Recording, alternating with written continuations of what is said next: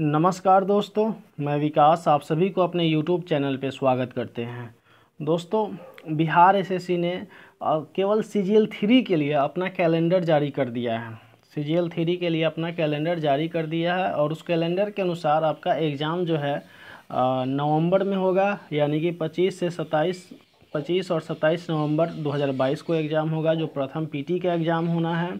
उसके बाद जो है इसका जो रिज़ल्ट आएगा वो आपको अ, 20 से 30 जनवरी के बीच यानी कि 20 से 30 जनवरी 2023 के बीच आना है।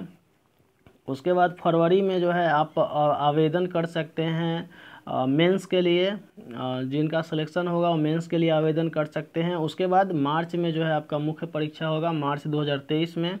उसके बाद जो है अप्रैल में आपका जो है अ, इसका जो है रिज़ल्ट आएगा। उसके बाद मई, जून से अनुशंसा जो है स्टार्ट किया जाएगा। बहुत ही, अ- मतलब अच्छा लिखा हुआ है, शानदार लिखा हुआ है। लिखने वाला जो है लिखने वालों को मतलब क्या कहा जाता है कि ज़बरदस्त तरीके से लिखा हुआ है।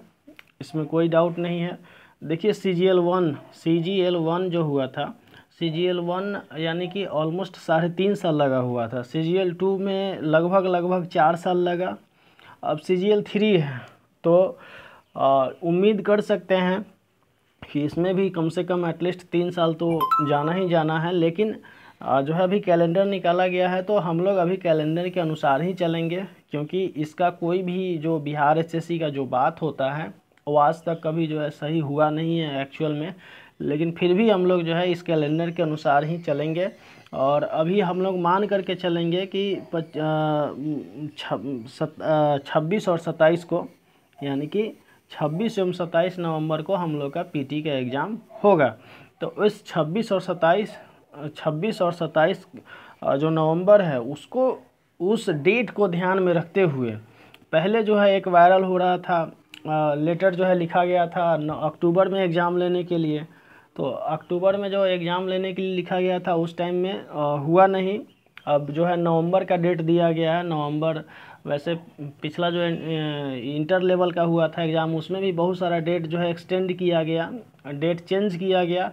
तो खैर अभी फ़िलहाल जो है इसी डेट को लेकर के हम लोग चलेंगे कि मेरा एग्ज़ाम जो है इस नवंबर में छब्बीस सत्ताईस नवंबर को मेरा एग्ज़ाम हो जाएगा। दो दो दिन में होगा। और उम्मीद करते हैं कि अच्छे से होगा।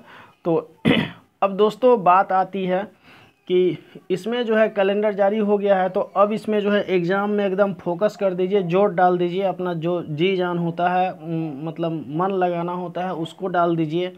एग्ज़ाम जो है आपको पीटी का एग्ज़ाम जो है मेन एग्ज़ाम पहले तो पहले तो पीटी के एग्ज़ाम के लिए आपको ज़बरदस्त ज़ोर लगाना होगा अ, क्योंकि इसमें जो है नौ नौ लाख के अप्रॉक्स लड़के हैं। अब नौ लाख लड़के में जो है आपको मात्र इसमें जो पीटी का रिज़ल्ट आना है अप्रॉक्स बारह हज़ार बारह हज़ार से कम ही आएगा।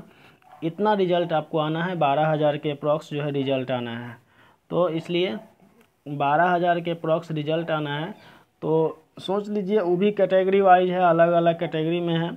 तो इस कारण से जो है आपको जितना भी आप पढ़ रहे हैं वो सब आपके लिए एक तरह से कहिए कि कम ही है। जितना ज़्यादा से ज़्यादा हो जितना ज़्यादा से ज़्यादा मटेरियल मतलब कम से कम मटेरियल को ज़्यादा से ज़्यादा बार रिवीजन करना हो अभी अ, बहुत ही अच्छा टाइम है। डेली प्रैक्टिस सेट एक एक प्रैक्टिस सेट डेली लगाइए। चाहे प्रैक्टिस सेट कोई भी प्रकाशन का हो पब्लिकेशन का हो और फोकस कीजिए दोस्तों कि अगर आप जीके जीएस पढ़ रहे हो तो एनटीपीसी का जो जीके जीएस जो पढ़ रहे हो तो जो एनसीईआरटी का जो बुक है एनसीईआरटी का जो साइंस का बुक है, उसको ज़रूर पढ़ ले। एनसीईआरटी का साइंस का बुक आपको बहुत ही फ़ायदेमंद करेगा, फ़ायदा करेगा।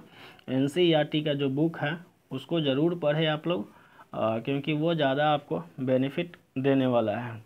तो दोस्तों बहुत ही आपके लिए जो है बहुत ही अच्छा न्यूज़ है कि नोटि आपको एक नोटिस जारी करके बताया गया है कि बिहार एसएससी सीजीएल थ्री का एग्ज़ाम इस इस डेट को, इस इस महीने को होगा।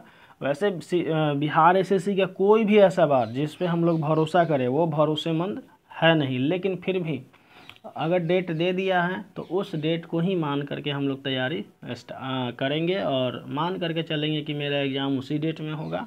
और लगे रहें, बढ़िया से जो है करते रहें, एकदम इस बार जो है फोड़ देना है।